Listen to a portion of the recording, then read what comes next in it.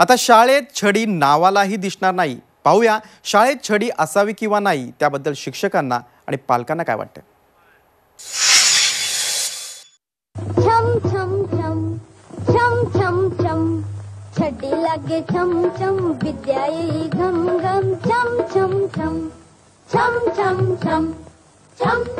छम एकेकाळी शाळेतल्या या छडीला अनन्यसाधारण महत्त्व होतं. पण आता ही छडी शाळेतून गायब होणार आहे. या छडीला शाळेतून हद्दपार करणारा कायदा दोन हजार नऊ साली आला.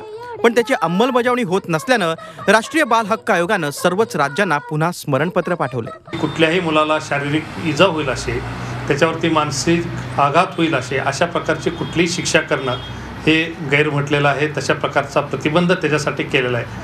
शाळेतून छडी गायब होण्याबद्दल पालकांची याबद्दल संमिश्र मतं आहेत की मी लहानपणी ज्यावेळेस शिकत होतो त्यावेळेस माझ्या त्या शिक्षकांची नावं मला अजूनही आठवत आहेत की जे शिक्षक मला मारत होते त्यांच्या धाकापोटी पूर्णचे पूर्ण वर्ग पूर्ण शाळा अत्यंत शांत राहत होती. मग हा धाक खूप कामाचा होता. त्याच्यामुळे धाक हा असलाच पाहिजे. माझ्या मनात एक भीती असायची की मी सरांना कसा प्रश्न विचारू? तर निश्चितच म्हणजे धाक हवा छडी असावी पण ती छडी भीतीच्या स्वरूपात नसावी. छडी गायब होण्याचं मानसोपचार तज्ज्ञ मात्र स्वागत करतायत. तर कायद्याची योग्य अंमलबजावणी व्हावी म्हणून काळजी घेण्यासाठी बाल हक्क आयोगानं पुढाकार घेतल्याचं बाल हक्क आयोगाचे राज्याचे अध्यक्ष सांगतायत. महाराष्ट्र शासनाचा वर्गात शिक्षकांनी छडीनं मारण्याचा आणि मुलांना मारण्याचा जो अध्यादेश काढलेला आहे तो अध्यादेश अतिशय योग्य आहे. छडी लागे छमछम विद्या येई घमघम म्हणत अनेक पिढ्यांनी धडे गिरवले.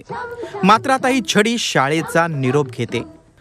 छडी मारणं किंवा न मारणं नको यापेक्षा विद्यार्थी उत्तम घडायला हवेत. विशाल करोळे झी मीडिया औरंगाबाद.